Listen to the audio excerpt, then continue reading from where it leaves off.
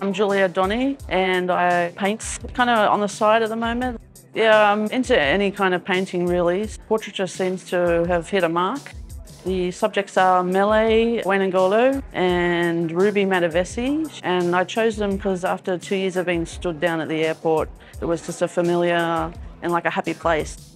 This is my first time entering the Lester Prize. I'm really stoked and uh, grateful, honoured. Yeah, it's awesome.